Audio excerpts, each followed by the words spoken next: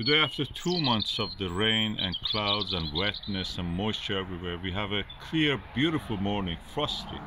Finally, winter has arrived, and when it arrives, we know that the sky will be clear like that. What I'm going to say is that the Mars opposition is tomorrow.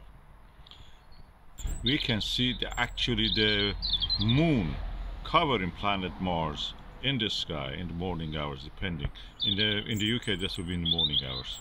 So uh, watch out for this. This is something interesting to look forward.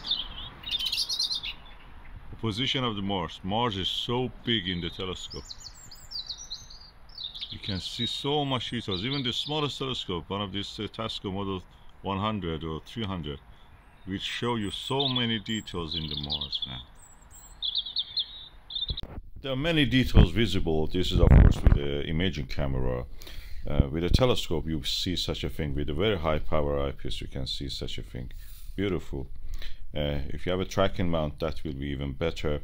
If you're just watching with a binocular you will see this all will happen in one hour. This is of course from the previous years. Now the moon will be in full phase. Uh, this is also from another year as you can see but the principle is the same it takes about one hour for the moon to travel over the face of the Mars. So it covers it and the Mars will reappear from the other side. Another image, this is more likely if you have a telescope, this is what you will see more likely. And even more realistic is this one, which you have even haze and cloud coming in front of you, between you and the beautiful uh, phenomenon.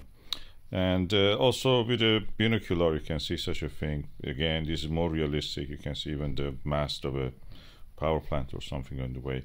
This is also something that you will see with the binocular. More likely, don't miss this opportunity. I'll put the timings in the description so you can refer to that.